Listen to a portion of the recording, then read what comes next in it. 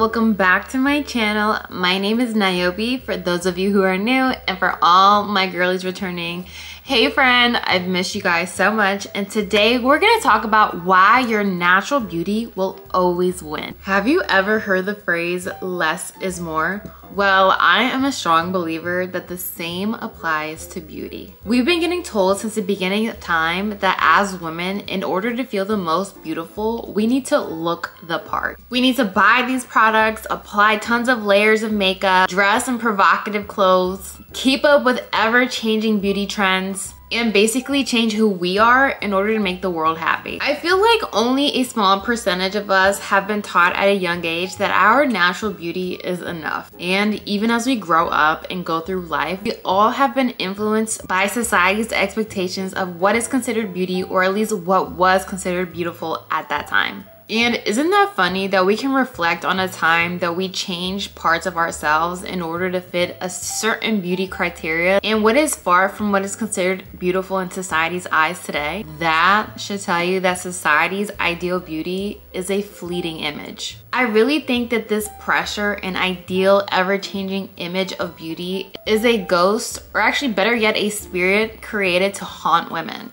You know, it's really sad because as you grow up, if you pay attention, a lot of what the world considers ideal are actually expectations meant to break your spirit. These expectations have a lot of women in a choke hold in a mental cage that they just can't seem to get out of. Now, I say the word haunt because I feel like if society had healthy standards and just pressures, then it would not equate to billions of young and older women hating themselves, not liking what they look like, wanting to go under the knife to change their appearance, have low self-esteem, and hide under materialistic things. Well, babe, if anyone hasn't told you yet, or maybe you just need a gentle and honest reminder, your natural beauty will always win. And that's what I feel like is so ironic about this topic because the only way you can win against these competitive beauty standards is to embrace the natural you. You actually win when you don't participate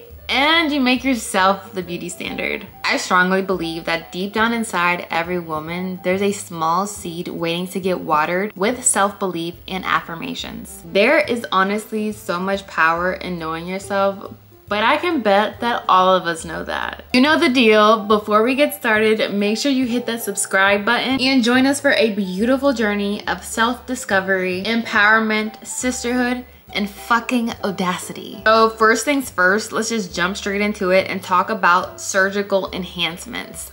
Okay, so surgical enhancements have had us in a chokehold for over a decade now. Okay, like BBLs, were just this huge trend going on. It got so popular that not only celebrities had BBLs, but cashiers had BBLs, nurses had BBLs, the stay-at-home moms had BBLs. Honestly, it's really sad to sit here and think how much plastic surgery has taken over the beauty industry and just influenced so many women to believe that they are enough or that there's something wrong with them or they need to look completely different in order to have a certain life or a certain man.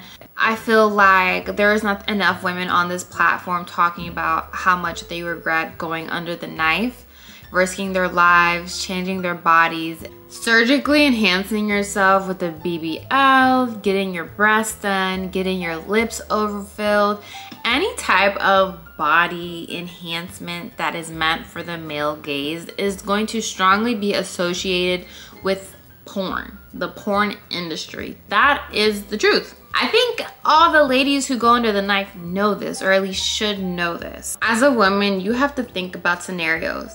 When you walk into a room, would you rather feel respected or lusted and objectified. This beauty that once seemed so unattainable because of its secrecy, then it was a matter of the pricing, you know, getting surgery done is never cheap, but that didn't stop people. Eventually it became something anyone could have. I mean, plastic surgeons are taking credit cards. What you can get from all of this is that beauty is not something everyone can obtain. If everyone can obtain it, with time, it doesn't become beautiful. Beauty should not be like this trend that you can just like change your entire look to follow. Because once everyone has it, what is so beautiful about it? Beauty is rare, beauty is iconic, and you only experience that true beauty when you celebrate your natural essence. Because everyone doesn't look like you. No one has your eyes, your lip shape, your brows, a beautiful body you walk around in, and your complexion. Everyone wants what they can't have unless everyone else already has it. Your unique natural beauty will always win because it is unobtainable and that is your power. I am definitely a woman who loves her exclusivity. If everyone has it, I don't want it. If everyone's giving it attention, I am doing the complete opposite. I've kind of always been that way. I don't know. I just feel like if it's that obtainable, it just can't be that special. And I pray that God continues to make me different and to have this thought process. And I definitely encourage you all to do the same. Okay, now let's talk about false advertising. What I mean by false advertising, I kind of mean like overdoing your look, overcompensating for what you believe you lack in in order to feel good enough to be presented to the world. So that you guys understand my thought process, it's it's like this. Let me put it this way. When I put on makeup, I love to put on makeup that makes me and other people say, wow, she's beautiful. Versus, oh, her makeup's pretty. You see the difference. If you are only putting on makeup to feel confident and to change your whole like face, your whole jawline, your whole nose structure, everything about your face, just to make yourself feel better and feel good enough, then that is a really unhealthy relationship that you have with your beauty. Beauty products are here to enhance who we are. And the reason why they don't feel beautiful is because they have invested so much into this this false advertisement they've created of themselves to feel good enough and they haven't invested or poured into who they actually are, their natural beauty, their natural essence. You gotta think like she's so pretty, she doesn't even need that. By the way, are we all loving my fall makeup? Sorry, just a side note. I just want to throw this in there. My makeup today is so bomb, guys. I think I'm gonna do a tutorial. What do you guys think? It's just uh, so freaking pretty and it was a super easy look to do. So what I mean to say by all of this is that when you do a lot, it shows that you're doing a lot. Like, okay, she's doing the most. And not in an eye rolly kind of way. I know I just rolled my eyes. but in a way where it's just like, girl, like, you're so pretty. You don't even need to do all that. Like, yeah, you can if you want. Obviously, I'm not judging you for it at all. But what I'm saying is this is for the girlies who feel like they need to do a lot in order to feel pretty, in order to meet some sort of standard, when in reality, their natural beauty is the standard. It is so important that while you're experimenting with your look, that you celebrate your natural beauty and keep the integrity of your natural essence, of your natural features of who you naturally beautifully are. And in the process, you're communicating to the world that you are comfortable in your skin and confident. But do you really want to attract something that desires you when you look nothing like yourself? Now, I have been modeling for some time now. If you guys didn't already know, um, definitely check me out on Instagram. I do post a lot of my modeling work there.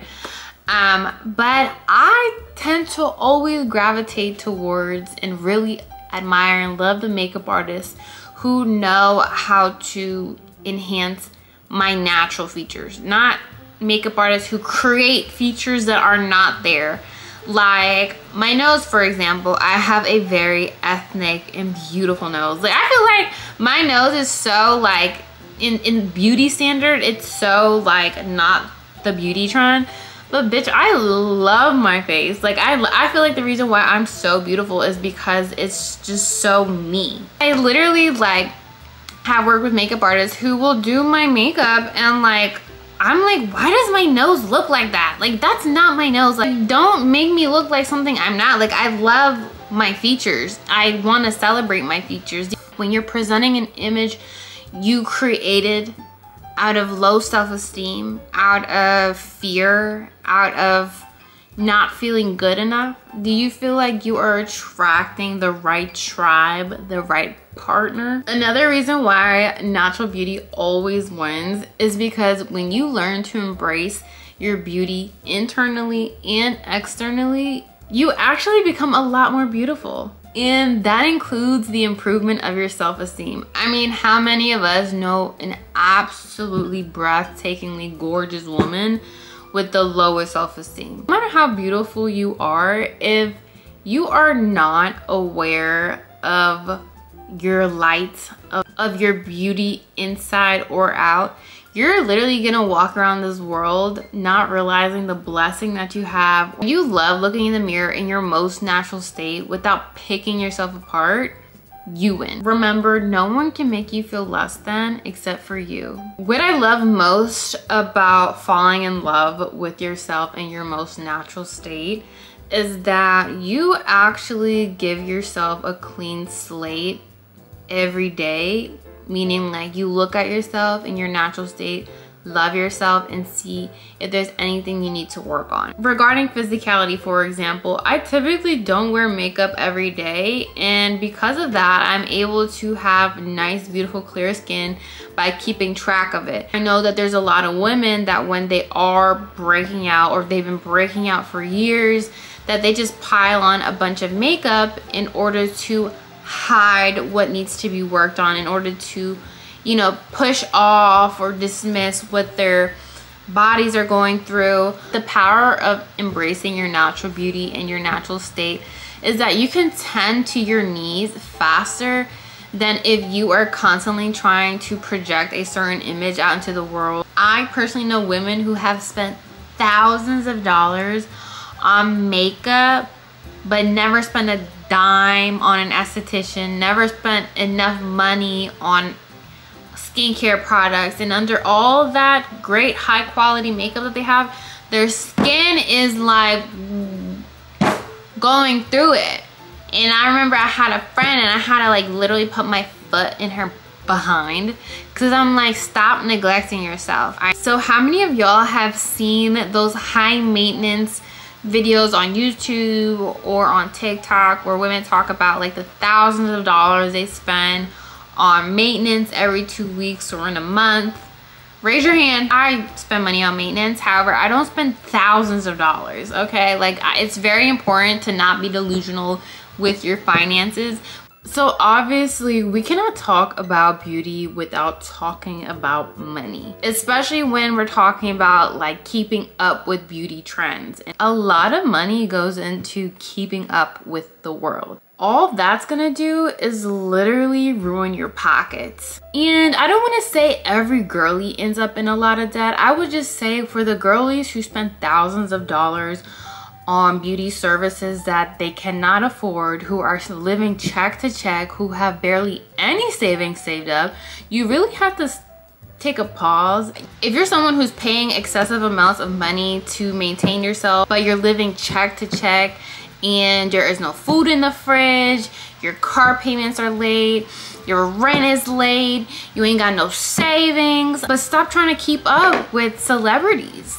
Stop trying to keep up with the world's expectations when it's not realistic. You know, you need to make sure that as a woman, you are taking care of yourself. Well, amiga, thank you so much for watching. I definitely enjoyed creating this video for you all. If you guys have any questions or want to leave a comment encouraging all the other girlies to love their natural beauty, comment down below. Make sure you subscribe and follow me on Instagram. I'll talk to you girlies very soon.